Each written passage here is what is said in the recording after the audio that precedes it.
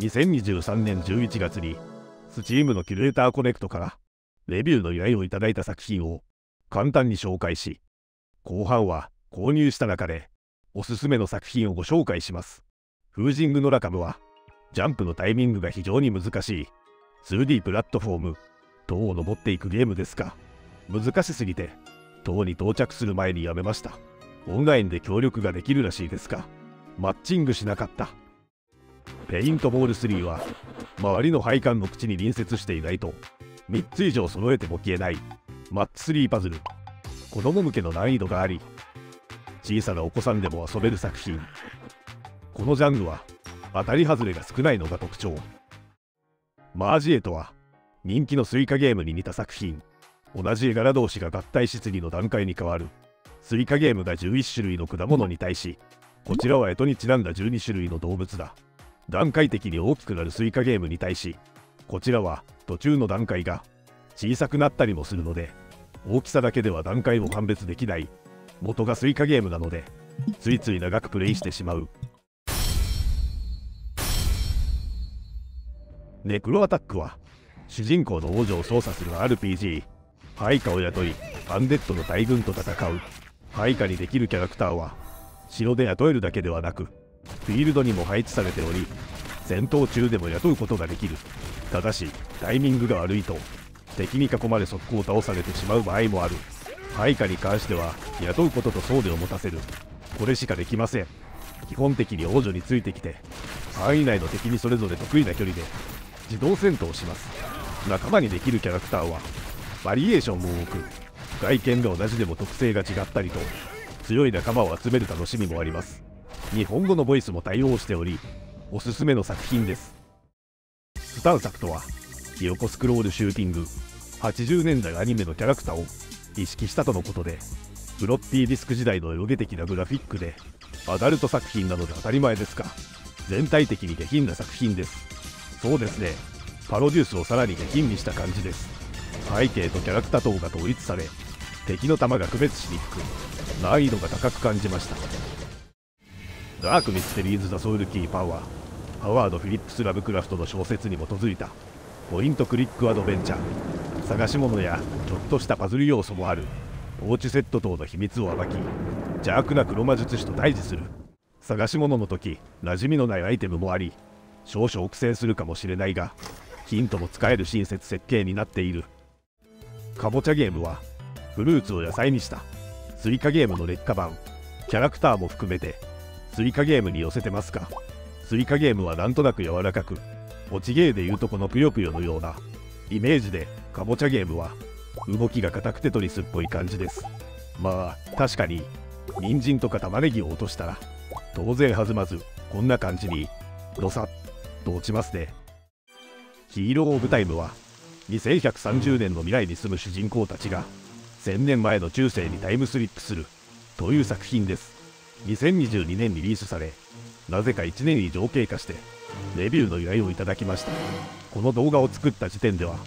かなり安い価格で販売されていました。RPG 作るせいだと思いますが戦闘のテンポが悪いイメージです。正直翻訳はいまいちでメニューの顔が謎ブリッツガードはデフォルメされたキャラクターで戦う。ソウルライク。特徴としてはシールドを持たず戦うので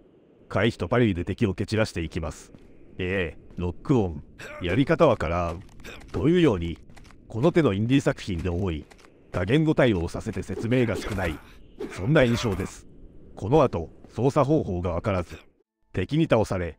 どこかの建物内で起きる。チュートリアルには戻れないのか。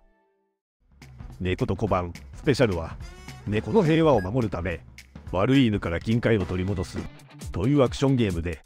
キャラクターが可愛らしく動きが良いゲーム。一見ステルス系と思い序盤は構えてプレイしてましたがアクション部分が思ったよりも難易度を抑えてるように感じた。しかし金塊が見つからなかったりとそういったところで難易度が調整されているように感じました。オーブハンターは主人公のオーブハンターを操作し砦にあるファイアオーブを回収する。というストーリー。ゲームとは直接関係ないですがトップのメニューの仕様が特殊で解読に時間がかかりましたゲーム内容はソウルライクということですか。とにかく UI 等の表示がなく、シンプルな作品です。あ、これもよく見ると、シールド持ってないタイプですね。最近のインディーソウルライクは、忍者に盾持たせたり、とりあえず剣を1本だけ持たせたりと、それが差別化は。ナンプレクラシックは、ナンプレ好きの方に朗報。600円で300問、1問2円。とってもお得な気がします。ちなみに、私は、ナンプレが大の苦手です。以前、紙で渡されて、消しゴムと鉛筆で、紙が破けるんじゃないか、というぐらい、苦戦した経験があります。このソフトで遊んでみると、選んだ数字の色を塗ってくれたりと、とても遊びやすいです。全くのノーヒントで遊びたい方にも、オプションの設定で細かく変更が可能。とにかく鉛筆や消しゴムを消費しない、素晴らしい作品です。ハイドロフォイルジェネレーションは、セーリングボートシミュレーター。残念ながら日本語には対応しておらず、このように大量のチュートリアルがあり、かなり丁寧な英語による説明を受けることになります。正直英語が苦手であれば厳しいと思います。当然、私はエンターキーを押しまくって、強引にチュートリアル開始、前には進みましたが、表示されているメッセージの TWA という言葉がわからず、こういった用語についての知識が必要です。カーレースのゲームとは違い、適当に操作してなんとかなると思えない、しっかりチュートリアルで操作方法などを学んだ方が良さそう。セミオートのような雑に操作できるモードも欲しいところです。以上13作品がご依頼いただいた作品で、次は最近日本語化されたおすすめ作品。バックパックバトルズは、2024年4月リリース予定で、現在デモ版をプレイが可能な作品。デモ版といっても、十分に楽しめるクオリティ。そして最近、日本語に対応しました。バックパックにアイテムを詰め込み、アイテムによっては他のアイテムに影響を与えるものもあり、そういった効果なども考えながら、他のプレイヤーとオートバトルを行います。戦闘が終わるとお金をもらえ、そのお金を使って、ショップで装備やアイテムを購入。販売されるアイテムはランダムで、割引されている場合もあり、運次第なので、そういった部分も飽きない理由です。アップデート頻度も高く、今後も注目したい作品。続いて購入した中でおすすめの作品 Stronghold Definitive Edition は城塞都市を築き敵の猛攻を防いでいくリアルタイムストラテジープレイしたことのない方でも名前は知っているであろうシリーズシリーズ1作目から約20年かつては英国アカデミー賞にもノミネートされた名作中の名作そしてその最初の作品がリメイクされました。昔懐かしい雰囲気はそのままに、グラフィックなどが綺麗になっています。ゲームの内容は、敵からの襲撃に備えながら、城塞都市を強化していくという、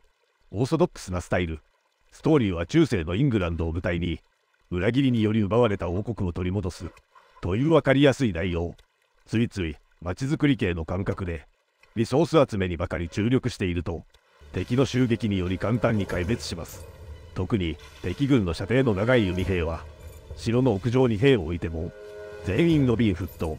それに比べ味方の弓兵は城壁から一方的にやれるのは序盤だけ甘くはないです Ratopia はネズミの女王を操作し市民たちを導く街づくりシミュレーションとにかくキャラクターの動きや表情まで可愛い作品同ジャンルは Terraria、 Craft The World、 Oxygen Not Included、あたりが類似しており、特にクラフト・ザ・ワールドは、序盤で言うと、可愛いネズミか、ドワーフのおっさんたちかの違いです。キャラクターが可愛い部分で、十分に価値がありますが、プレイしていくと、序盤は襲撃が簡単だったりしますか？不満によるハウラン、冬の食料不足、徐々に厳しくなる襲撃により、何度もやり直すことになるでしょう。そして、法律、外交、貿易など今までの類似作品に加えられたシステムがとてもよくできておりついつい遊んでしまいます戦闘のコンテンツでは襲撃以外にもこのようなボス戦もあり強引に力押しで戦うとせっかく育てた部下を失ってしまったりするので注意です現状でも十分に楽しめる作品ですがアーリーアクセス中で更新も頻繁にあり期待が膨らみます今回は16本ご紹介しました。ご視聴ありがとうございました。